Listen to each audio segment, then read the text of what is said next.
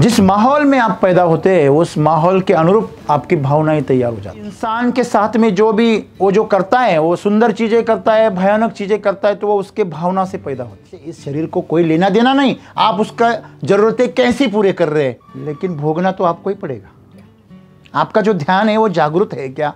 इसके ऊपर आपका जीवन निर्धारित होता है। आपकी जरूरतें तो आप पूरी ही करने वाले हो, तभी तो ज़िंदा रहेंगे। लेकिन आपका जीवन, आप वो जो जरूरतें हैं वो आप कितनी शानदार तरीके से करते हैं। ये जीवन की क्या है?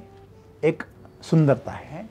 कर्म तो कुछ करना ही है, लेकिन सुंदरता से कीजिए, शानदार तरीके से कीजिए। आगाज़ हो, दुनिया को पता चले, अरे कहीं कुछ हो रहा है। तो ये जीवन जीने का तरीका हर कोई जी सकता है, लेकिन ध्यान चाहिए।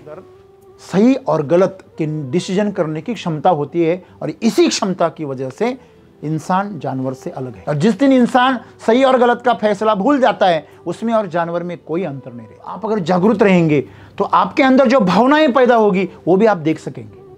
वो आप खुद पैदा करेंगे। भावना बाहर से प्रभावित होना और स्वभाव से निर्मित होना, इतना सा फ़र्क है। इतने से फ़र्क की वजह से आपका जीवन शानदार की जगह खतरनाक हो जाता है। दुनिया में ऐसा कोई धागा नहीं जो प्रेम से मज़बूत हो, जो वात्सल्य से मज़बूत हो।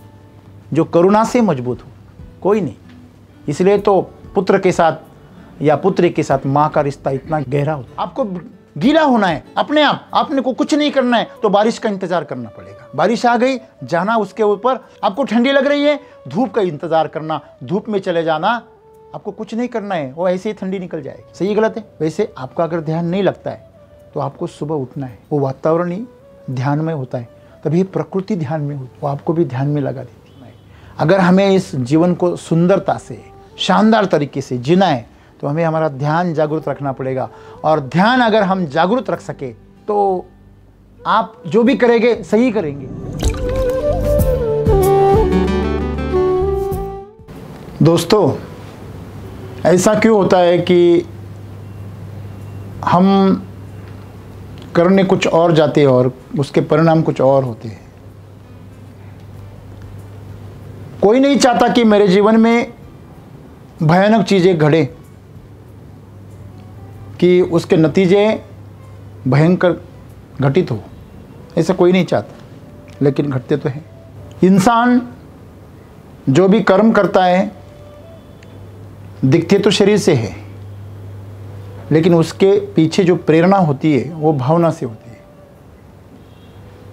अब ये भावना पैदा कैसे होती है?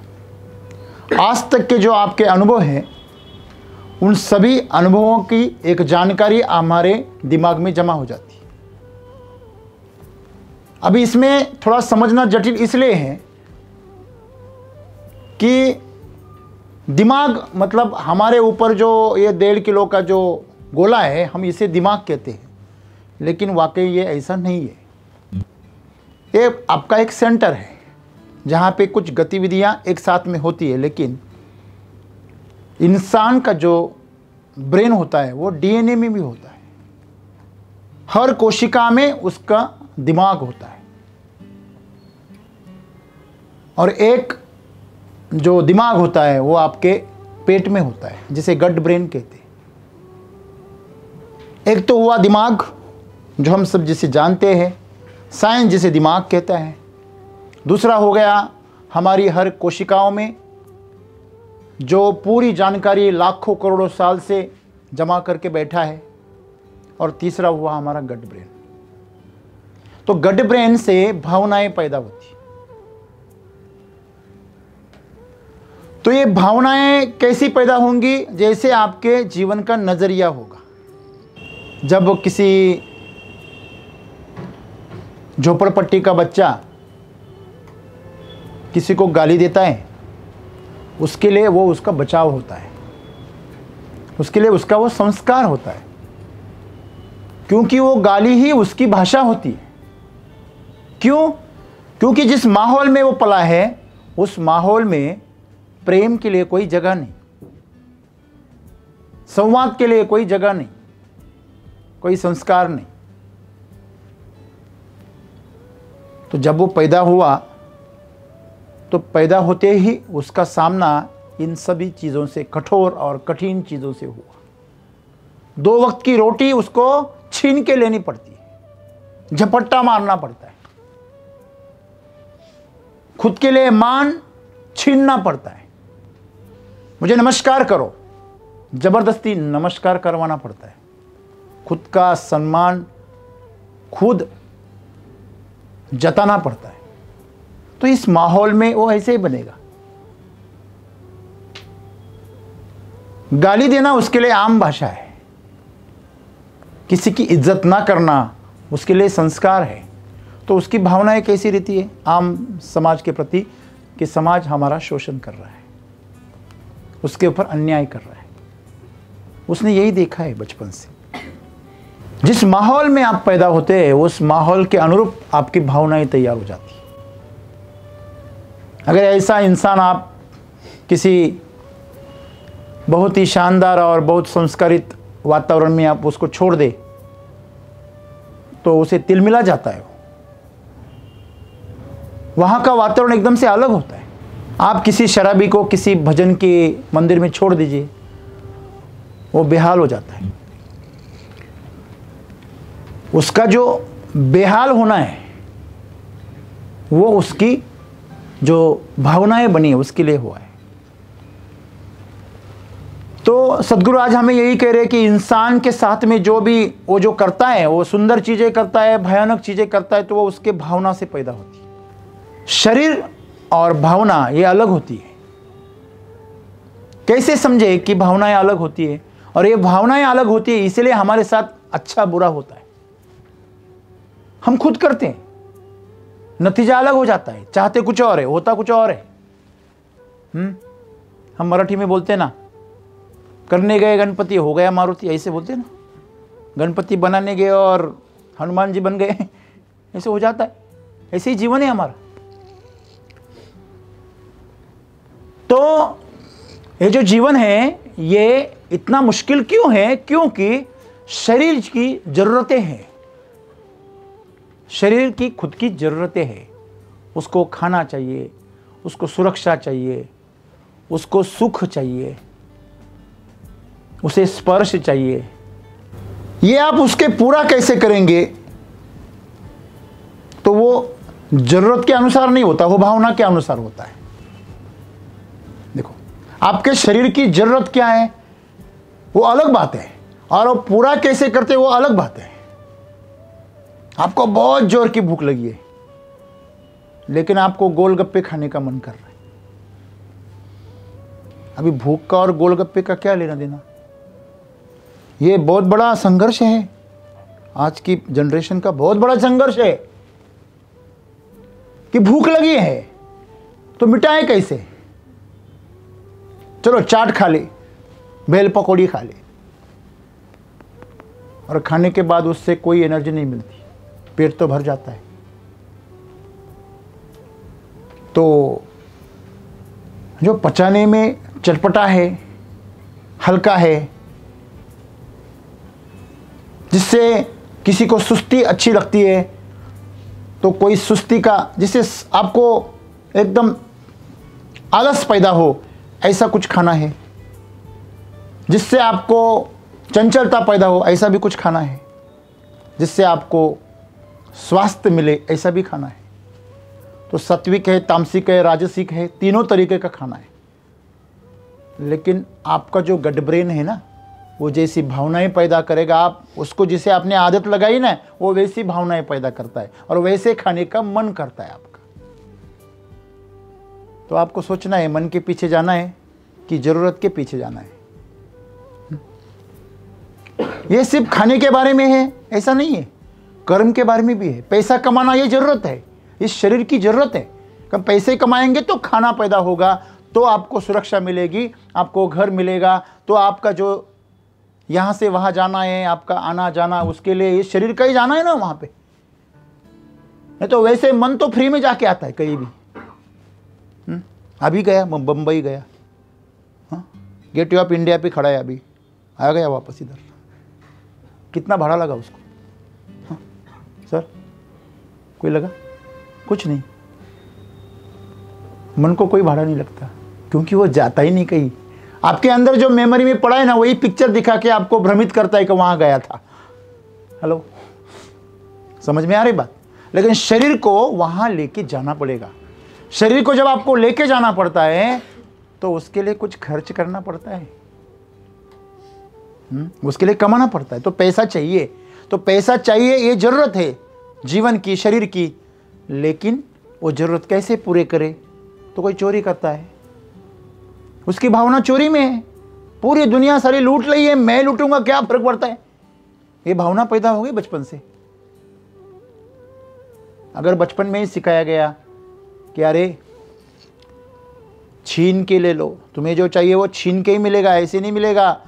उसे अगर जंगल में जो शेर भग भेड़ जो है, वो कैसे अपने शिकार को झपट्टा मारते और उसके नोच लेते और उसको मार कर खाते हैं, वो दरिंदगी, वो जानवर का संस्कार उसके ऊपर किया जाता है। तो वैसे बन जाता है उसकी धारणाएँ, उसकी भावनाएँ वैसी बन जाती हमें वो लोग गलत लग रहा है, लेकिन उसको खुद के लिए वो सही लग रहा है। मुझे एक बात बताइए, जो गुंडे मवाली होते क्या उनके परिवार नहीं होते? क्या उनके बच्चे बीवी नहीं होते? होते हैं। वो उनके बीवी, अपने बीवी बच्चों को क्यों नहीं मारते? उनके लिए तो कमा के लाते कमाने का तरीका अलग, गंदा है उनका, गलत है।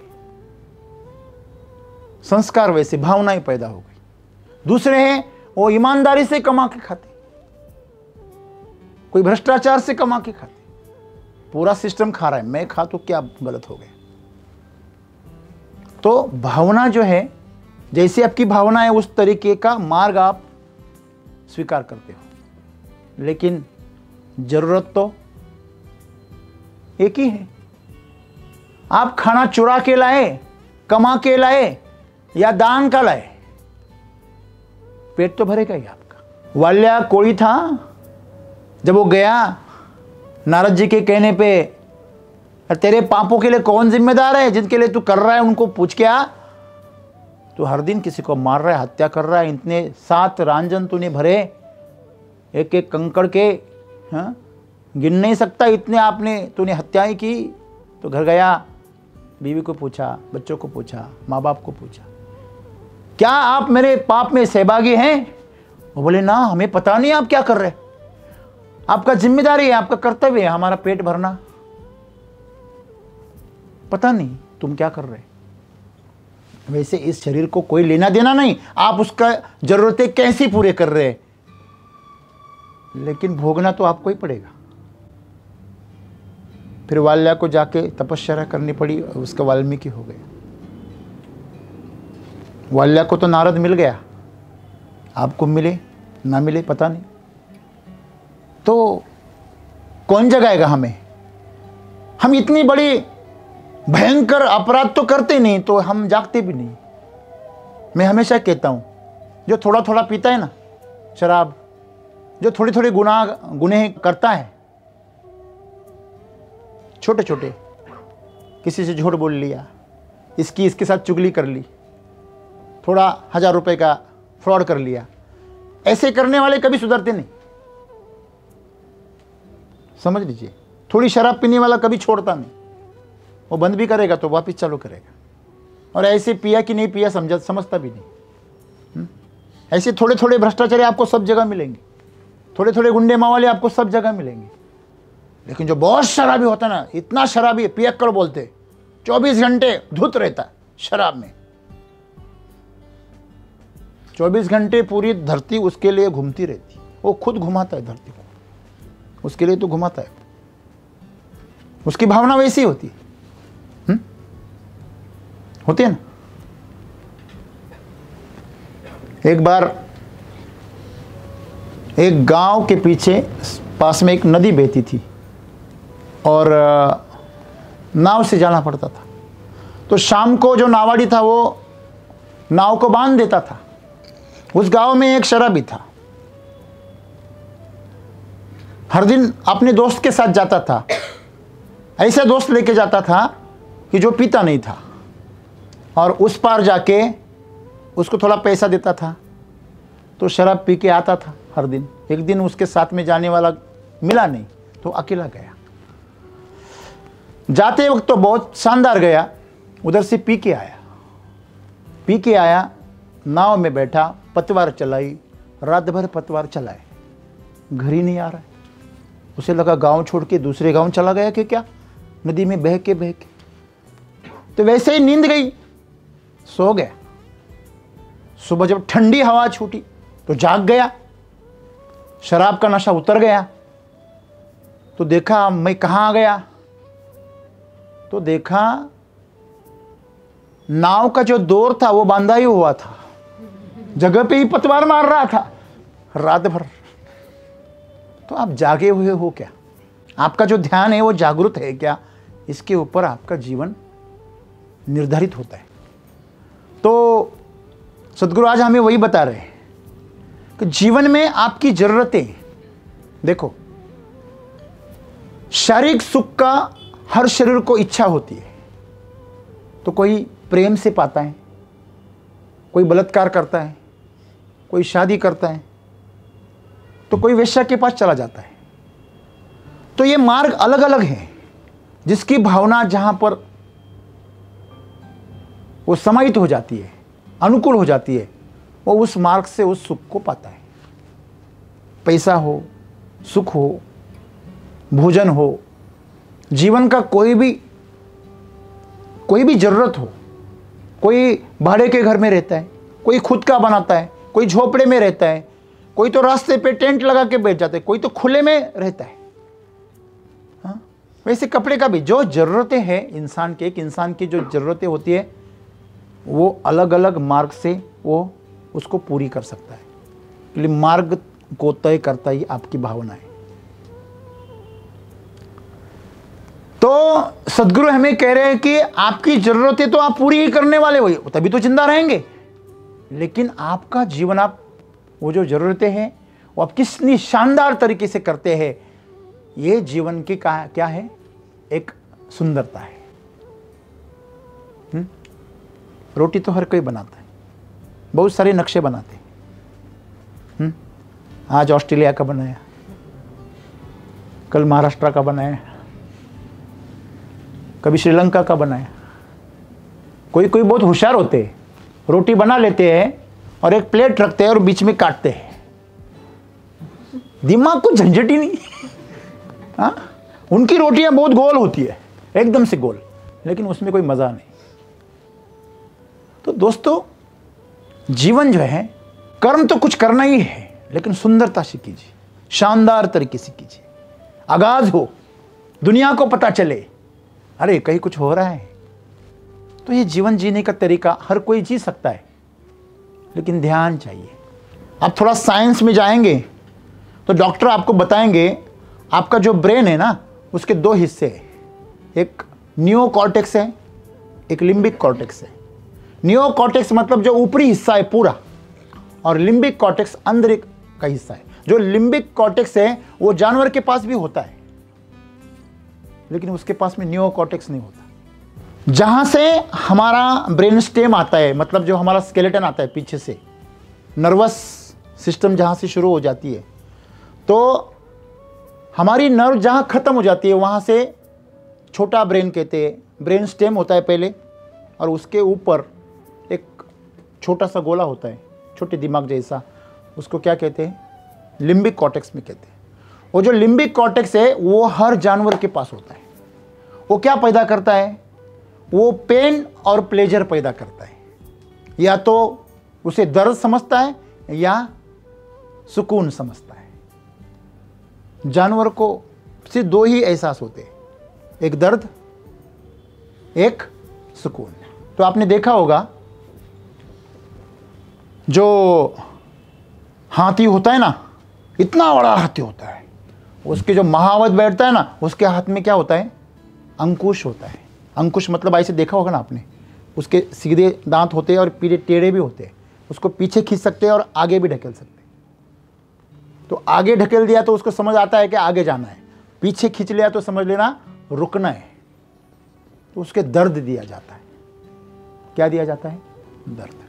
जानवर को अगर प्रशिक्षित करना है ना तो उसे दर्द दिया जाता है या उसको प्लेजर दिया जाता है, खाने के लिए कुछ दिया जाता है।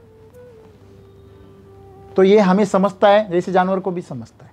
लेकिन जानवर को एक चीज़ का पता नहीं होता, जो इंसान को होता है। इंसान ध्यान लगा सकता है, जानवर नहीं लगा सकता। क्यों? क्योंकि हमारे पास न्यू कॉटेक्स है। न्यू कॉटेक्स मतलब जो ऊपरी जो जो मसालेदार ऊपर का जो आवरण है पूरा वो घड़िया घड़िया से बनाए, उसको न्यू कॉटेक्स कहते हैं, ऊपर वाला, पूरा। तो उसके अंदर सही और गलत के डिसीज़न करने की क्षमता होती है और इसी क्षमता की वजह से इंसान जानवर से अलग है। और जिस दिन इंसान सही और गलत का फैसला भूल जाता है, उसमें और जानवर में कोई अंतर नहीं रहता। तो ध्यान लगाना मतलब सही चीज़ें करना। तो ध्यान एक अशारीरिक क्रिया है, इसलिए मुश्किल है। तो आप अगर आपके जीवन को शानदार बनाना चाहते हैं ना तो आपके शरीर के अंदर नहीं बना सकते, आपको शरीर के बाहर जाना पड़ेगा। क्योंकि एक तरफ़ आप सोच सकते हैं कि आपकी इंद्रिया है।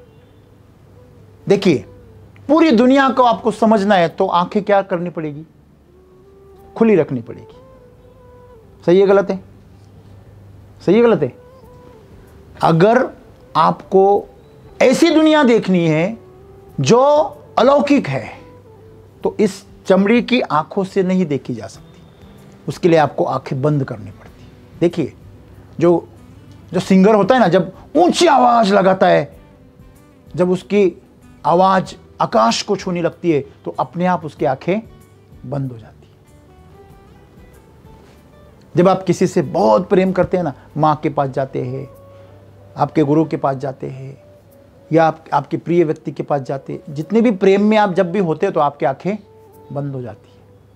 वहाँ इस चमड़ी की आँखों का कोई काम नहीं।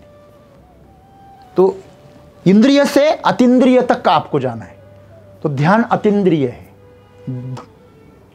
जो अनुभव है, वो इंद्रिय तक सीमित है।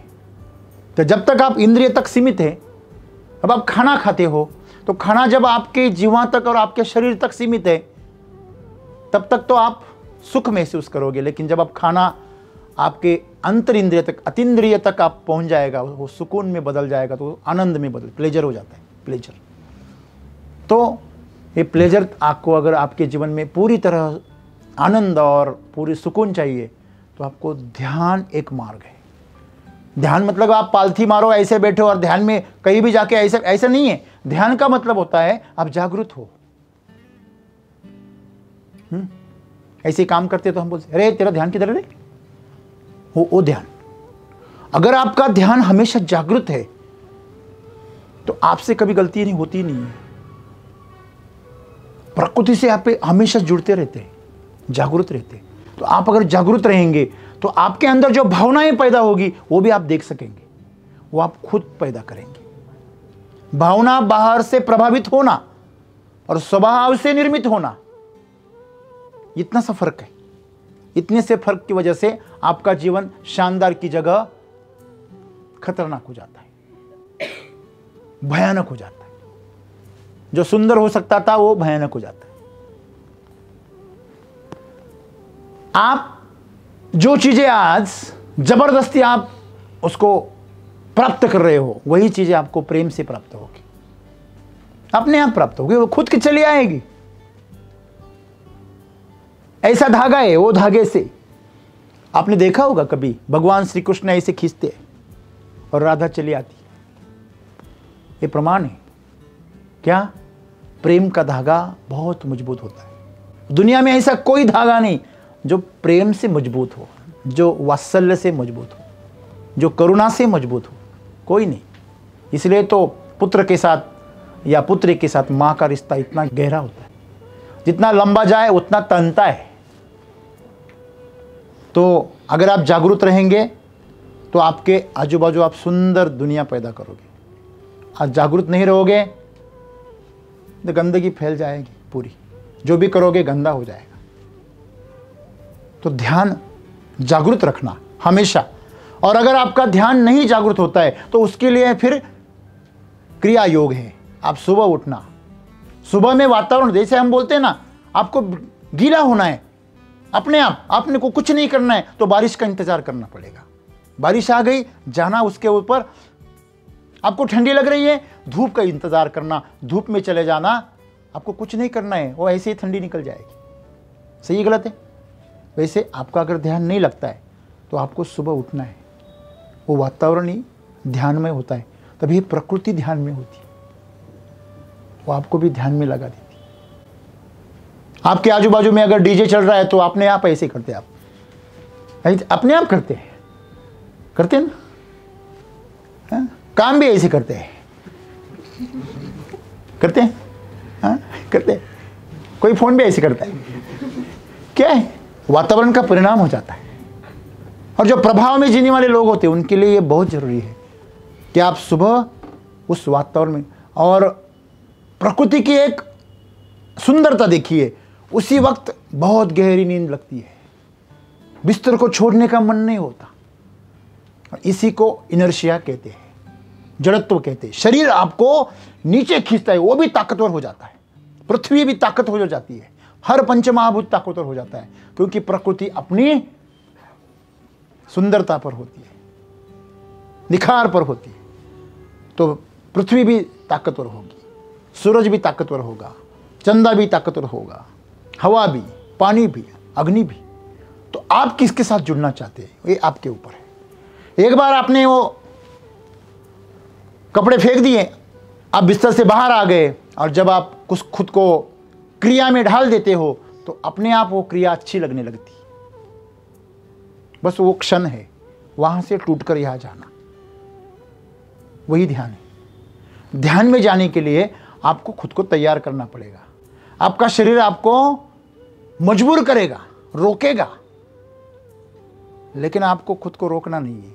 अगर आप ऐसा कर सके और एक बार आपने उस ध्यान को चख लिया तो आप जीवन में भी ध्यान लगाना कोई मुश्किल बात नहीं। लेकिन अगर आपने उस ध्यान को कभी छका नहीं तो बहुत मुश्किल है, क्योंकि जिस चीज़ का हमें पता नहीं, उसका हम आनंद कैसे ले? डूबे कैसे?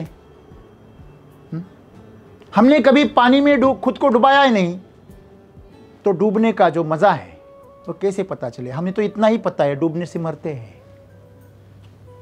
हमें यही सिखाया गया है, पानी में डूब के लोग मरते हैं। लेकिन आपको पता है कि जब आपको ध्यान का सामग्री मिल जाती है ना तो आप पनडुब्बी की तरह नीचे चले जा सकते हैं।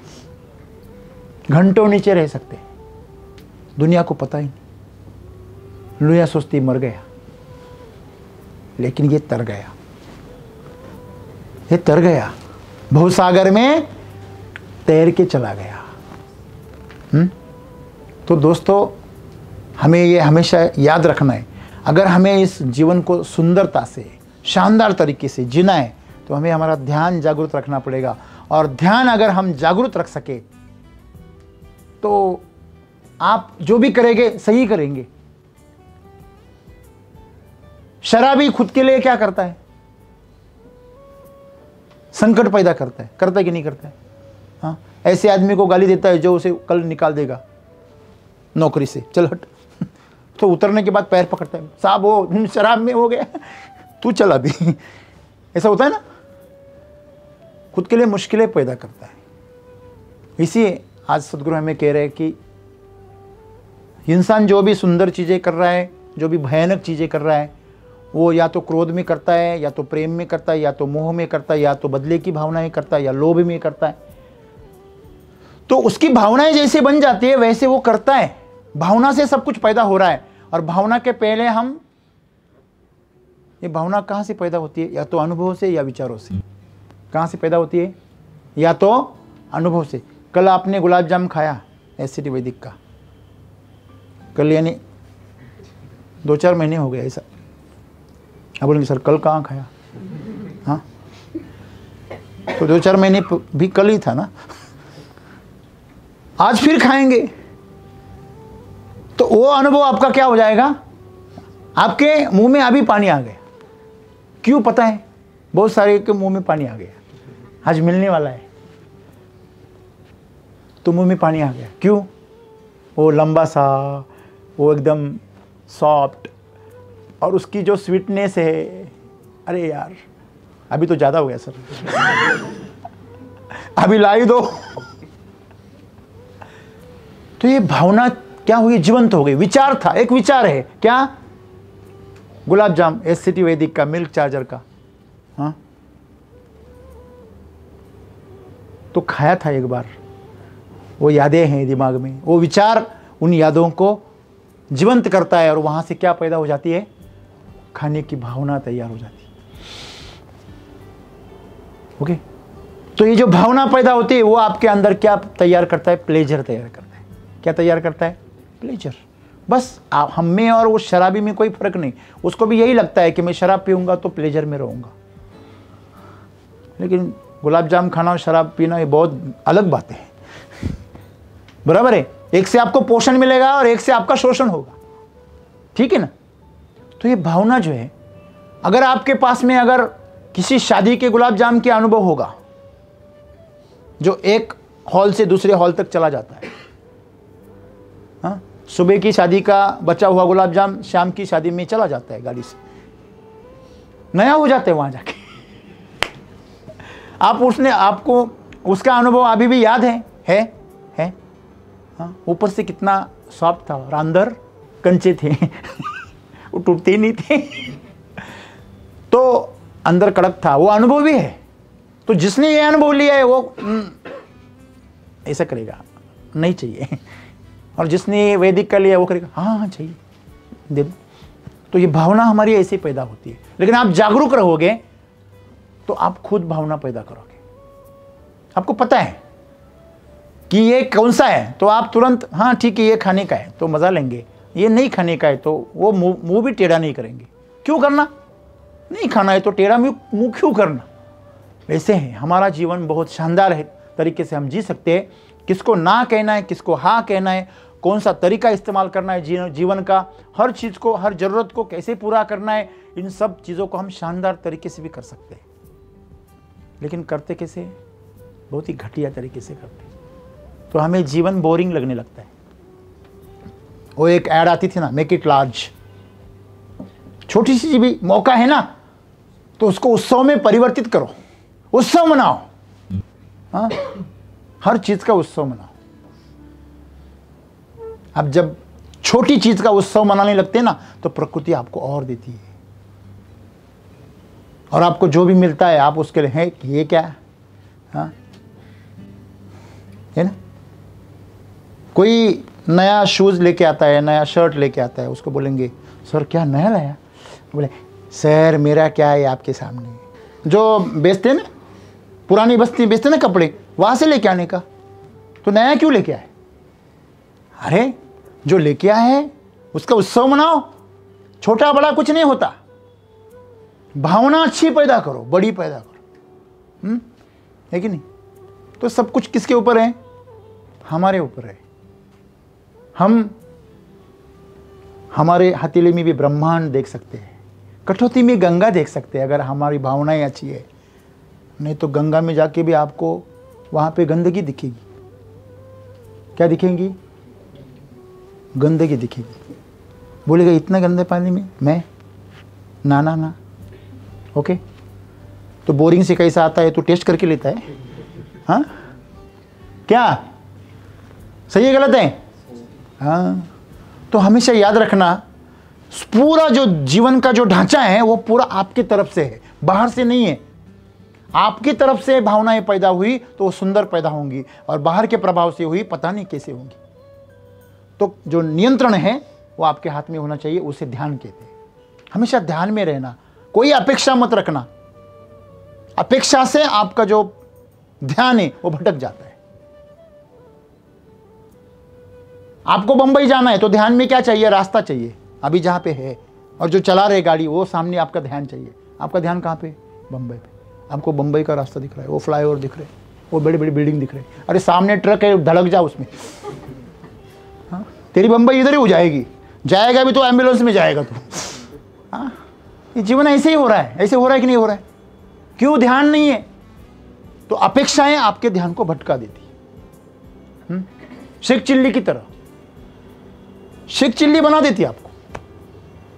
तो जीवन सुंदर है, उसको शानदार बनाइए और जीवन का आनंद लीजिए। हमेशा ध्यान में मस्त रहिए, जागरूक रहिए। और जैसा चाहे उतना शानदार जीवन बनाइए। धन्यवाद।